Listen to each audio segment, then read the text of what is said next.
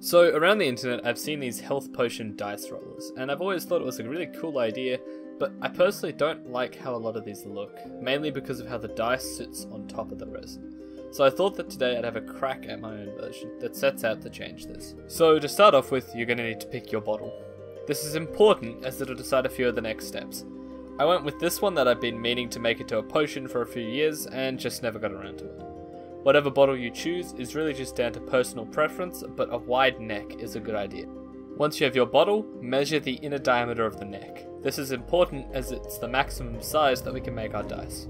And now onto the dice. Regular D4s wouldn't work because they A, don't float, and B, the numbers being on the tips wouldn't work for this dice roller. So I made my own dice. I modelled a simple rectangle and put some simple markings on the side to represent the different numbers. I will be 3D printing mine, but you could make the same thing out of blocks of wood. Just make sure that the rectangle is quite long. I printed my dice and moved on to the next step, making a spacer. This may not be needed for all bottles, but because of the long neck of my bottle, I didn't want the dice floating up and getting stuck. So I designed a dual purpose stopper slash spacer to keep the dice out of the neck.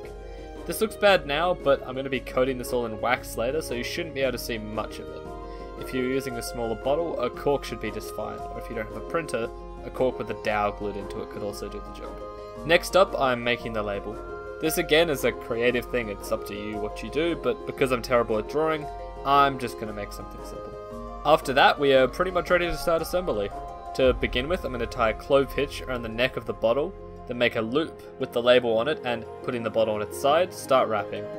I'm going to do this maybe 10 times before moving the string down to the back of the wrap, around once, and then halfway around the next wrap, bring it back up and repeat this to get this cross shape.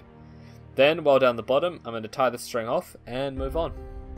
Next, I'm going to make the red liquid to go in the bottle. I'm just mixing some red food dye with water. Again, it's personal preference how dark you want it, but I want a pretty dark potion, so I'm going to keep adding dye and mixing until I'm left with something I'm happy with.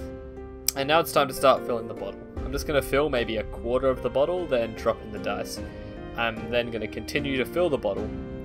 And when it's almost full, I'm going to start putting the stopper in to check that it's not overflowing. And when it's just about completely full, I'm going to stop. Now to glue the stopper in place, I forgot to film this, but I um, put a ring of glue around, then glued it to the bottle, and then just covered the whole top of it with glue just to make sure there's not going leaks. And now finally, I'm going to wax over the top. This is letter sealing wax, it's quite cheap on eBay. Candle wax would probably work, but sealing wax is much stronger, less brittle, and has a nicer shine to it. I kind of screwed this up. I think to achieve better results, a larger container with more wax would have worked a lot better. I'm not super happy with it, but it's okay. It does the job. And here's how it turned out. I'm pretty happy with it. Really like how it looks, and it works pretty well. You need to shake it quite a bit, I find, but it definitely gets the job done.